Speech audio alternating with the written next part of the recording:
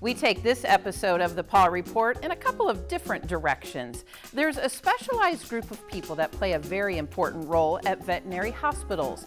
On this episode, we're joined by returning guest, Dr. Krista Keller. She'll explain what vet techs do and how they assist with the daily operations at U of I's College of Veterinary Medicine.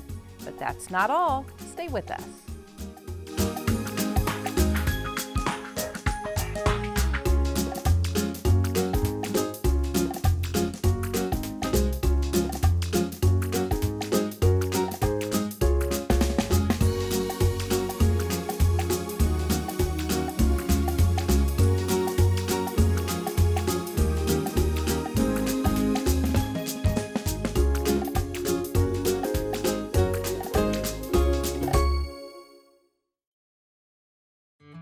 Paw Report on WEIU is supported by Rural King, America's farm and home store, livestock feed, farm equipment, pet supplies, and more. You can find your store and more information regarding Rural King at ruralking.com. Dave's Decorating Center is a proud supporter of the Paw Report on WEIU. Dave's Decorating Center features the Mohawk Smart Strand Silk Forever Clean Carpet. Dave's Decorating Center, authorized Mohawk Color Center in Charleston. Thanks for joining us for this episode of the Paw Report. I am your host, Kelly Goodwin, and we have a returning guest on the Paw Report today, Dr. Krista Keller from the University of Illinois College of Veterinary Medicine. Thank you so much for joining us today. Thank you. When we corresponded about our episode, um, of course, you gave me a lot of different topics to choose from, so we decided we were going to do a smorgasbord of Paw Report topics today. And we're going to start with um, the first topic, and you said these are really the unsung heroes in veterinary medicine. These are the vet techs that you work with. What, what exactly is a vet tech? Yes, I'm glad we're talking about veterinary technicians today. So I think the easiest way to explain to the public what a veterinary technician is, is to compare them in the human medical field to nurses.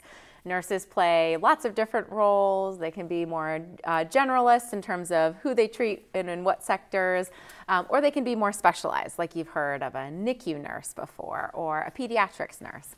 Um, technicians uh, play a really similar role. They have advanced training. They're you know trained to do all of these things with animals. They can be more generalist, or they could go on to get um, specialization in something like maybe anesthesia, or radiology, or to work with fun species like I work with. Um, but they, they definitely play, um, they're an important part of the veterinary healthcare team most of the pet owners don't necessarily all the time interact with them face to face. And so that's why I think they're these unsung heroes is that the public maybe doesn't know what role they play in their pet's health care. Uh, do you have to have certain skills? You, you know, I think probably I, I, look at you and I think as a young child, you probably always knew that you wanted to go into, no? No, not me. most veterinarians, yes, yes they want to go into veterinarians, yes. I knew medicine, but I didn't know it was veterinary medicine. Do you have to have certain a skill set or um, maybe a background to, to kind of go into this field? Yeah, I think, um, you know, the skills that most technicians have are super they're super hands associated skills. They really are hands on skills um, uh, that they usually learn in tech school where they're doing, you know, they know how to place catheters into veins and catheters into urinary bladders. They know how to obtain blood and um, uh, handle animals. Think about all the different species that we work with.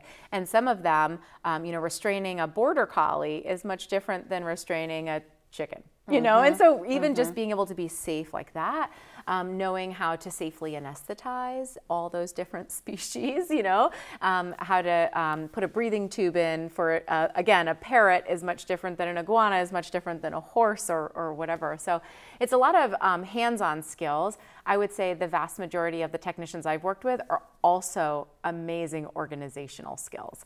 Um, most veterinary hospitals in that clinical setting are actually really run by the technicians. And I love a great technician who can run me, who says, Dr. Keller, why aren't you in room three? Like, you need to get there, or the students are waiting for you in the conference room. Where are you at? You know? Mm-hmm. Um, so they're really, really good at organizational skills as well, which I need.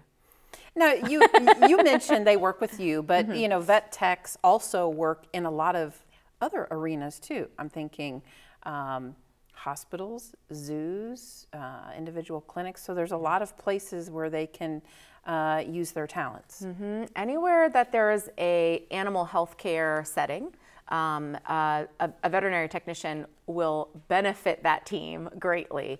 Um, so other places outside of zoo, aquaria, which are kind of those non-traditional species they're working with, um, outside of the community practice or even our practice at the veterinary teaching hospital, um, there's, um, anim- uh, there's veterinary technicians that work with animals in research, so like in a lab animal setting, where they work with mice or rats and they help anesthetize those animals um, while you know samples are being obtained for research. Um, uh, there's uh, large animal practices where veterinarians are ambulatory practice, so they drive their truck to the farms, hmm. and um, you know they might have a technician that's with them that's helping them restrain and obtain samples and run samples and you know do all the paperwork that's involved with a veterinary practice. Um, there's a lot of corporations that maybe make animal products, animal healthcare products. And um, I was just having a lovely conversation with a veterinary technician on the phone. You know, I called this corporation to talk about a product that I had been using, I had questions about.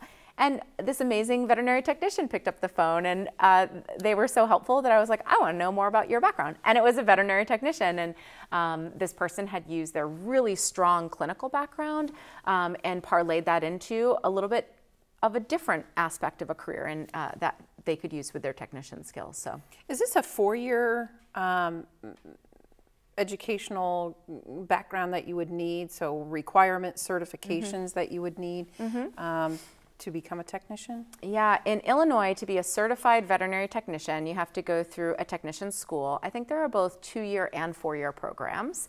Um, uh, and there's technician schools here in the state of Illinois, as well as just a whole ton of them across the United States. So there's quite a few um, technician schools or schools that have veterinary technician programs.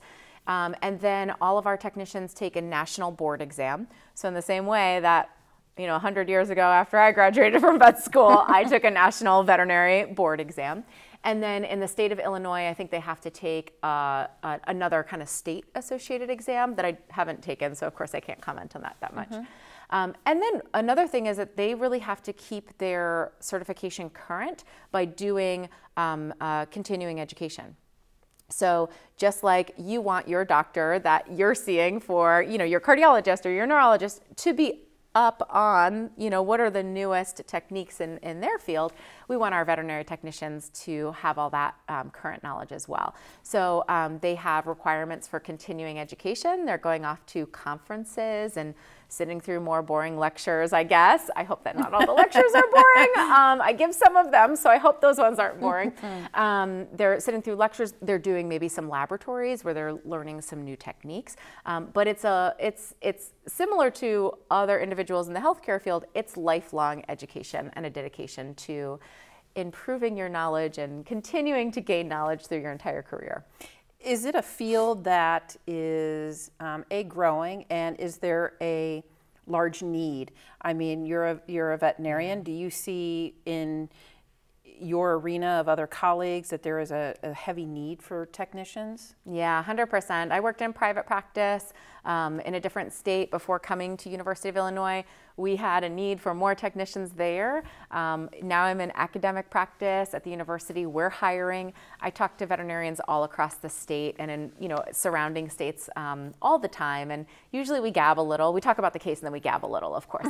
um, and they're sharing the same sentiment that they need they need more technicians. They need uh, more skilled professionals that are there. So uh, if it's something that uh, somebody watching it sounds interesting, just know the field is is, is in need of your skills, in need of your passion. And growing, sure. and they can yes. contact the University of Illinois, they potentially you, mm-hmm. uh, to get to get some more information. I'll send them in the right direction. Yes.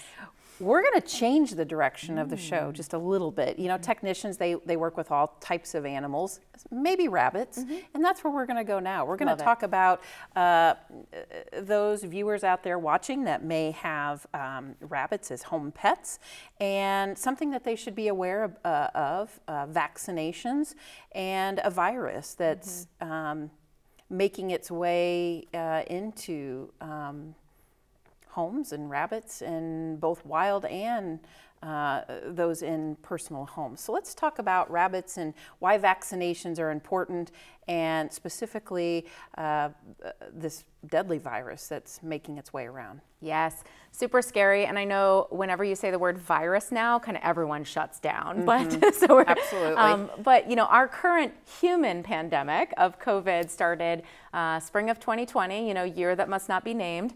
What's interesting as we kind of look at the rabbits is that um, that same spring um, there was a rabbit virus that was introduced to the country as well. And so we've been having these two pandemics actually happening at the same time. And I think our human pandemic has been so all-encompassing that we haven't been able to focus too much on you know the mm-hmm. rabbit pandemic, but. Um, the virus is called rabbit hemorrhagic disease virus, or RHDV. RHDV has been an important um, reason for vaccination of rabbits in Europe and Australia for many, many, many, many years. And so if you live in Europe and Australia and you have a rabbit, it is definitely part of the annual recommendation. You go see your veterinarian, you get your, you know, one of your vaccines the virus has never really been here in the United States. It's been an exotic animal disease. Um, and so we haven't had this recommendation requirement, any of that, for um, a vaccine. But in spring of 2020, there was, we don't know how it came in, but um, it came into our country and it's a brand new variant of RHDV. Um, and everyone now knows what the word variant means because we've all been We're schooled in yes. yeah, infectious diseases. Um, but this RHDV 2 is what it's called, is a lot more deadly, a lot more scary, and um, it actually has a larger number of species of rabbits that can be affected. So a lot of our wild rabbit species in the United States um, are, are dying from this virus, particularly in the southwest part of the country. There's been these awful outbreaks. And then there's been several outbreaks of pet rabbits that have also um, come down with the virus and ultimately um, died from it. Um, so, in the midst of all of this, similar to the human pandemic, where we then had vaccines that were created, um, there has been a vaccine that's been created against this RHDV2 variant. It is not yet FDA approved. It's going through that approval process. But while it's in that process, the federal government decided that the risk was great enough for our rabbit population that they granted this emergency use authorization for the use of this vaccine. So that emergency use authorization was exactly what happened with the first COVID vaccine. So there's a lot of similarities here. I'm sorry if I'm giving everyone flashbacks. um, but that authorization came in kind of October, November from the federal government in 21. Um, and then the state of Illinois also approved the use um, in late of uh, 2021. So at University of Illinois, we've been using this vaccine in monthly um, vaccine clinics that are open to the public to bring in their rabbit, have a quick exam from our students, and then receive the vaccine. Um, we've been doing that since January. Um, and I think uh, as we look at how serious this virus is, that it, it, really can kill rabbits, it can kill rabbits very, very quickly um, and that it is kind of spreading across the country and has gone to different states very quickly, that we should think about vaccination as a part of the way to prevent this disease from coming into our homes and affecting our rabbits. How close is it has it come to Illinois mm-hmm. in your research? Yeah, we've had a couple of close calls. We've had a couple of suspect cases that have come into the hospital where animals have died very quickly um, and have had the signs of bleeding someplace um, because the rabbit hemorrhagic disease, that word hemorrhage means bleeding.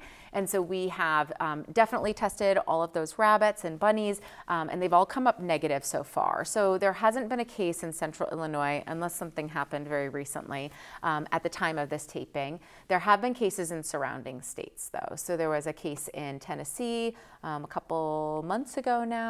Um, and what's kind of scary about it is that every time there's a case, nobody really knows where it came from. Mm. And so um, there, it can't be traced back to like, hey, this rabbit was hanging out with another rabbit hung out with another rabbit. We, we haven't really been able to trace it. And part of the scariness of this virus is it's very sturdy in the environment. And so, one thing that we're concerned about is that if you have a backyard like mine that's filled with wild rabbits, and you walk around in your backyard and do some yard work occasionally, you may come in contact with that virus on the bottom of your shoes. Mm-hmm. And if you're bringing your shoes into your house, you could then track that virus into your house. So, unlike some other viruses that die very quickly in the environment, this RHDV2 virus can live for a while in the environment. And there's a concern that if you have wild rabbit populations in your backyard, like a lot mm-hmm. of us mm-hmm. do, that we could track that into our home with our shoes, um, maybe with a rake or, you know, something that has gone outside and come into contact with something that came into contact with right. a rabbit. Is it all within fecal matter or is it saliva? Is it airborne? Um, what more do we know mm-hmm. about the transmission of, of this yeah. virus? I don't think it's airborne. I think it truly is, it has to be something that's tracked in um, although that, um, that contact can be kind of microscopic contact. So it doesn't need to be rabbit touches sick rabbit, you know, it really can be um, this bowl was eaten out of by sick rabbit and then we use this bowl and give it to healthy rabbit. And that sick rabbit maybe had some saliva or something that was in there and now the healthy rabbit is now coming in contact with that saliva. So it is a direct contact mm-hmm. with the virus. Um, uh, but the scary thing is how sturdy the virus is in the environment, that it can really live in the environment for a while and not be, you know, immediately deactivated um, just because it saw some sunlight or something. So, can it affect us? I mean, if I nope. touch that bowl that has been touched by an infected rabbit, do I have any effects? Nope. Luckily, it is not what we would call a zoonotic disease. So, a zoonotic disease is an infectious disease that we can get from an animal. And this is not a zoonotic disease, so you are safe. Mm-hmm. You are safe. Don't bring it to your bunny, but you are safe. Yes. Uh, something you recommend? Um, do you recommend that all those that have bunnies bring them in, be checked out, mm-hmm. get this um, get the vaccination just to be safe. Yeah, I think that um, the vac- vaccination can definitely play a role in protecting our pet rabbits. Other things that I want um, uh, my clients to uh, really think about are to maybe not feed from food that is gathered on their property. So, for instance, a lot of people will go out there, um, you know, maybe they plant garden. lettuce in their garden.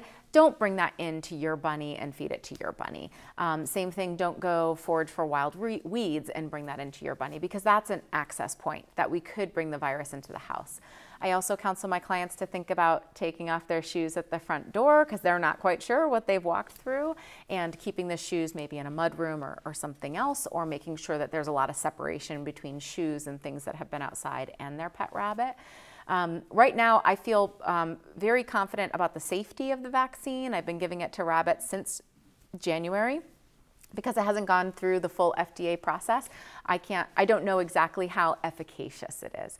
So, although I think the vaccine is probably going to work lovely and it's going to be FDA approved and then we'll have access to it a lot more regularly um, and we won't have to have vaccine clinics, we can have it available for your rabbit's annual exam. Um, I think right now it has to be a tool in the toolbox because um, there's a, a, little bit of unknown going on. So yeah, I think a vac- vaccination is part of that protection, but it's also just trying to have like a think about biosecurity and think about making sure your pet rabbit in the house is very very separated from um, anything that's outdoors. All right, we're going to change gears again, and maybe it's not rabbits uh, that that you have at home, but maybe it's backyard chickens. Oh, you know, let's see the pun yes. between the rabbit and the mm. chicken. I don't know. I'll let you think about that. Okay. You know, uh, having backyard chickens is an up and coming kind of new. I don't know if you would call it hobby. I suppose that you would hobby for people um, for a variety of reasons, for enjoyment, but also for a source of food. Yeah. Um, and so that's where we're going to take the interview now because you have some experience with backyard chickens. Mm-hmm. You do see some of these mm-hmm. chickens. Mm-hmm. You have clients that come in with chickens let's get into I want to raise chickens, I want to put in a coop, and what do I need to know about doing that? So we'll start with why do you think it is that people are so in, intrigued by having these little critters running around? Yeah, well, chickens are really fun. Um, I know it sounds like whenever I talk about animals that the, each one is my favorite animal, so I apologize. That's just me. Um, but chickens have great personalities. They're really funny. They're easily trained. I have clients who definitely have chickens who come when you call their name, and their names are always hilarious, like Dorothy, Brenda. Um, you know, they, are really. KFC. Casey. Yeah, the, the, fun, the really fun people call them KFC. But um, yeah, they, they come to their name, they're trained, um, they're really engaging with each other and with the family, especially, you know, they're, they're habituated to seeing your kids and your dog and, your, and you. Um, so they really are lovely to be around. Um, they play with their environment. They, they're just really fun. So I do think a lot of my clients legitimately enjoy being around their chickens. You know, they, it, they come home and they're like, oh, Brenda needs me. It's time for her three o'clock worm. I think this happens. The chicken ladies know right now. They're like, she's calling our name.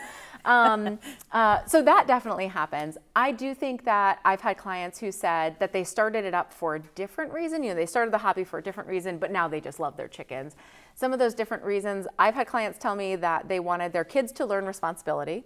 Mm. You know, hard chores. Yeah, those are hard chores. A lot of our kids these days are living in more suburban environments, but maybe when we were raised, we had more of a rural environment and mm-hmm. had more of those chores, right? right? Um, I've had clients tell me that they were really concerned about the welfare of the birds that were laying the eggs when they bought them in the store. Like they didn't know if those birds that laid those eggs were taken care of. And so it was a way for them to control kind of their food choice that they felt more comfortable like these birds live in the lap of luxury and they have the best foods and the best playtime and so they they felt better ingesting those eggs and feeding those eggs to their family. But I do think that all the all my crazy chicken people, and I say that with a whole heart of love, um, they really do enjoy being around their chickens. So, what, how do you get started? I mean, do you start with uh, making sure that your city, village, or town has ordinances that you can have those animals? Number that's one, one, that's, that's most important. One, yep. Uh, that you have space, and then mm-hmm. we'll go coop, and then nutrition and daily care. Yeah, I think investing in a really protective coop becomes very important. Um, most of us are in suburban environments, especially if you're going to have a backyard, you know, backyard flock, and there are hungry raccoons and foxes and your neighbor's cat and you know. Um, flying owls and mm-hmm. you know mm-hmm. all of this sort of thing and so um, uh, the uh, Brenda, who likes her three o'clock worm, uh, looks very delicious for the neighborhood fox. And these animals are very hungry and um, are, when it comes to raccoons, very smart. And so having a coop, a lot of people will home make a coop, which is fine. Um, if you have the tools and the time and the capability, go ahead. But um, it really needs to be super secure. Um, so two layers of wire that are kind of separated by wood and dig the wire down into the ground several feet. So that way anything that's gonna try to tunnel under can't get under. Um, here in Illinois, we also have to think about, you know, that we can keep them warm enough in the winter and also have a place for them to be in shade in the summer.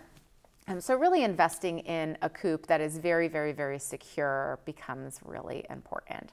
Um, I have had several clients tell me that they have, uh, raccoons have literally opened the lock. Oh yeah, they're smart. On the door. They are too smart, too smart for their own good. So um, maybe try to let your five-year-old get into it and if the five-year-old can't get in then maybe you're okay i'm not a hungry five-year-old a very right. hungry five-year-old that's right yeah. that's right speaking of hungry what do they eat i mean yeah. should you do you um, give them certain foods mm-hmm, or mm-hmm.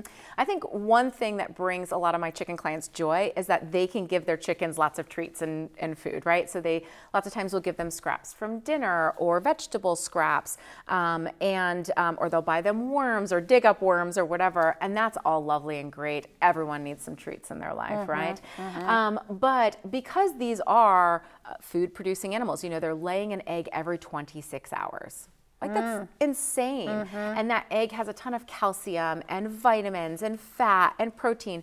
And so they really do need a very high plane of nutrition. So every laying chicken should be on a formulated chicken pellet that's made for laying chickens. And that just really ensures they're not going to have any nutritional deficiencies, that they're going to have all of the calcium and protein and fat that's required to make a really quality egg for you and your family. Do they like to be alone or do they want to be in a flock? Oh, they want friends. Oh, they need yes, friends. they need friends. You need a Brenda, a Dorothy, a, uh-huh. you know. you, need, you need a few friends. Yes. Um, and my favorite is the are the clients who name them in swaths. So they'll be like, sure. they're all um, heavy metal rockers from the 1980s, you know, and then they're like, this is Kiss, and oh, this nice. is yeah. Black Sabbath, and you Guns know, and Roses. yes, yes, it makes it very nice. a lot more fun for me. Yeah. Uh, what about a rooster? Do mm-hmm. we need we do we need that guy mm-hmm. in our coop? Yeah, to go back to city town ordinances, a lot of they're them uh, they are very loud. So a lot of these ordinances will not allow a rooster, um, just because your neighbors will hate you, um, sort of thing. it's pretty loud, and even though everyone thinks it's at the crack of dawn, sometimes just in the middle of the night. Oh, so um, it's not a predictable situation with the crowing.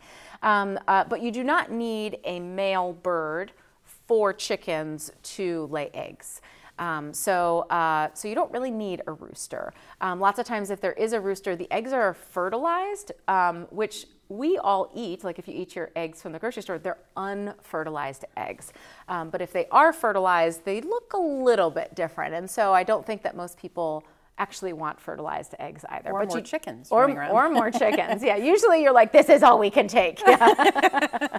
Oh, Dr. Keller, it's so it's such a joy to have you on the Paw Report. We are out of time, Oh, uh, my. but we were able to cover a lot of different fantastic topics today. So once again, we ended on a thank you for coming on the Paw Report. We look to have you again uh, next season, hopefully. I know we've got a lot more topics that we can talk about. So thank you for joining us. Thank you. And thank you, our viewers, for joining us for this episode of the Paw Report. We hope you'll join us next week. I'm your host, Kelly Goodwin, and we'll see you then.